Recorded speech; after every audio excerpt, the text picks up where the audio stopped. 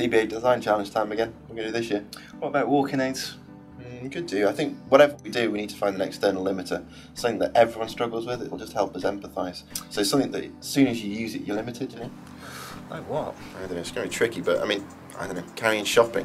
As soon as you carry bags, your hands are full, aren't they? You know, your dexterity becomes limited. You can't take a call. You can't do anything. Circulation gets cut off. Everyone struggled at some point. So we need to design something that allows everyone to carry their shopping with their hands free. Yeah, I mean everyone carries bags, whether it's shopping bags or anything else. But you know, whether it's carrying bags to your car or to the house or, or from a shop. Commuters doing a daily shop on the way home from work and just picking up a few items. Yeah, they could be on trains or buses or walking home. Students who don't have a car and carry their shopping. Village shoppers who still buy their vegetables from greengrocers, bread from the bakers, get their meat from the butchers. Singles or couples who do a weekly local shop. Or city dwellers whose lifestyle dictates a little and often approach, or who shop to always buy the freshest produce. It could be great if we could make this a fashion accessory for shopaholics. I took my two year old to the shops the other day and we were shopping for about an hour and decided we needed a coffee. She wanted to walk, so I was at the counter with one hand trying to hold on to her, one hand carrying several shopping bags, and the other trying to pay for the coffee. Then I was presented with a tray which I had to carry to the table. Something that took the bags out of my hand would give me one hand free to hold on to her. That would be really useful. Okay, who's it not for? Who would it not appeal to? I suppose it wouldn't appeal to families doing a large food shop because they need to take the bags from the checkout via a trolley to the back of their car, so they don't need to carry the bags any distance, so this is not for them. Our simple high street observational research showed just how many people struggle with bags and how many people hooked their arms through the bags rather than carry them in their hands to avoid cutting off their circulation. We took our ideas to a focus group to see what resonated with them. Carrying heavy weight in your hands um, it's not it's not the best way to do it for anyone. I don't use my hand. I use my always. Whenever I pick up the bags, I just make them a bit bigger and put them on my Yeah. shoulders. Oh, really? Using a stick, you've only got, you've lost one hand already, you've only got one hand left to, to carry anything with, or even to open doors, or all other sort of things you have to do. So uh, I personally prefer not to carry things in my hands. I have to use walking sticks, but I can't. I just can't use them because you can't. I've got RA in my wrists and my elbow and my feet and my knees, so you, I can't hold the sticks. So it's not particularly heavy, is it? It's Not just bulky and slippery because plastic bags are a nightmare to hold on because they're slippery. I mean, is there a practical merit to leaving your hands free when you're shopping? Yes. Hmm. Yes. So it's a load-bearing structure that goes through your body. I like the fact that you can distribute the weight over your Yeah. I like the shoulder strap idea. What I think it needs to be is kind of built-in value product. But I can see that the, the weight bearing capacities of that over the shoulders would be a good idea. Key drivers were something to carry and contain a, short, uh, a small volume of, of shopping, support the weight, but more importantly that it, that it was at waist height. Waist height, yes. Right, yes. Okay. I like it because it actually addresses another problem which I'm surprised nobody's mentioned. Um, five shopping bags and your handbag and you've got to pay for something. You have only one choice, you've got to put everything down, buy your handbag. Yeah. Around get your money out. Something like that, your money's in in that bag and everything's attached to it. So basically it's, it's much safer to shop in London like that because you're, you're attached to everything. We began by looking at redesigning the bag, but existing carrier bags are so simple and cheap that any change would be an increase in manufacturing time or material and therefore cost. Many Bag for Life schemes are now in operation, but although these bags last a long time, they do not imbue any quality that makes you want to keep them.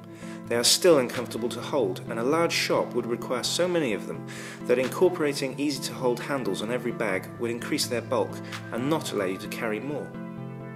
So we knew we'd identified an opportunity to make things better and set about designing a carry system that would accommodate all bags, whether they're paper, plastic, or material. There are a few solutions to this problem already on the market, and we observed a few consumers using their own Heath Robinson versions, made from lengths of hosepipes with slits down the middle. We found that these solutions only make one bag slightly more comfortable to hold for a longer period of time.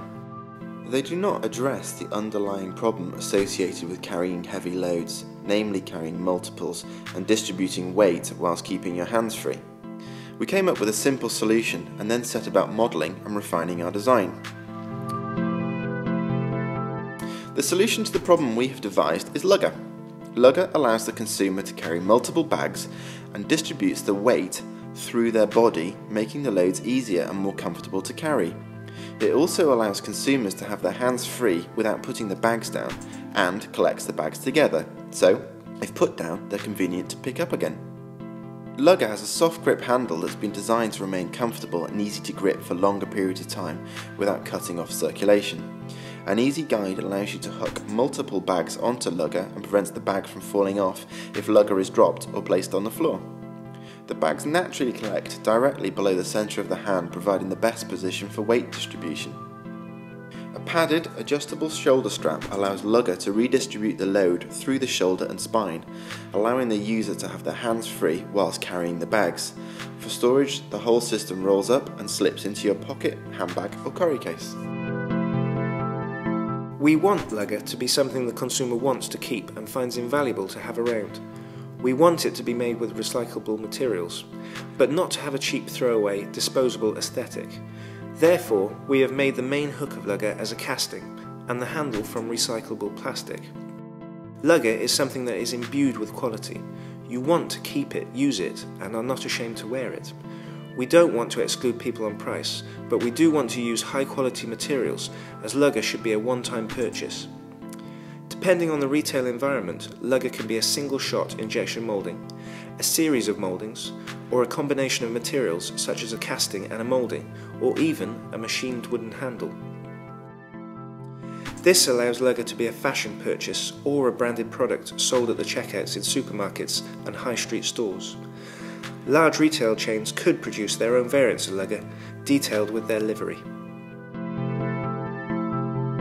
in a supermarket or in somewhere like you clip all your bags into it, and as you keep going along, you put more bags and more bags. But what it does is it leaves your hands free. Well, I'd probably use it for like shopping, like food shopping, Yeah. maybe, because it'd be easier. Because I don't have a car at the moment, so it'd be easy. And it's adjustable. Yeah. I think it's a good idea. What would you do? You just have it with you so that you could always have your. It would fold up and you put it in your handbag. You handbag. put it in your handbag. Hmm, yeah, I think it's quite a good idea. Well, that- that's a good idea because it's a nuisance when you've got bags and you've got to keep sticking them on your arms. Yeah, yeah, probably would, especially with a little one. And I think it would be really good for when you're in the supermarket and they're always really heavy, so it's better to spread the weight, I'd say, over your shoulders than That's true, carry them because I always them. get a sore hand when I'm Especially if you've been shopping and then you want to go to another shop. I always have too many. yeah. Yeah. Yes. Well, it's certainly a good idea. Certainly, if you've got young children and you need, you definitely need your hands free. I can see it being a good idea um, for that. I, I think it would have built me, yes. Takes the weight of your fingers. What I would do is I'd tend to put make that wider. Yes, I think it depends on the price, doesn't it? Yeah. Yes, I probably might well. I think it's a good idea. The product I had had grooves in for the fingers, which meant, you know, your fingers sat in the grooves, but it was not comfortable at all. Because fingers are not all the same, are they? Where at least with that, you've got a various uh, size hands can manage it. I actually do think the handle itself has got merit because, you know, four of these bags, they do get weighty sometimes, and, uh, and that would certainly make it uh, that much easier to, ha- to actually handle. So it's a good idea for young mums and slightly elderly people. That's a good idea. yeah, I think that's a very good idea. So, having a lugger is something that could benefit everyone. So, what have we done? We've identified a real problem and an opportunity to improve people's lives. We've tried to pay attention to what people need and look at existing designs and add significant functional benefits. We've looked at the commercial and marketing aspects. And we've explored manufacturing processes, and along with that, we've come up with what we believe to be a good business model.